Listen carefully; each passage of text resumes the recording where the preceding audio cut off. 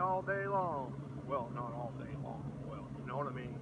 Stop, go, stop, go. Stop, fish, go, you know, whatever. But that's it, right there. Mercury supposedly rebuilt to a 175. Who knows? You know what people tell you, just you know.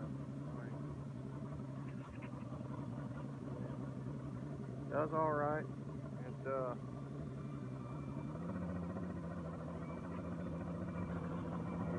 Tilting up. Tilting back down because it's fixed to take off, but it runs, lights work, blah blah.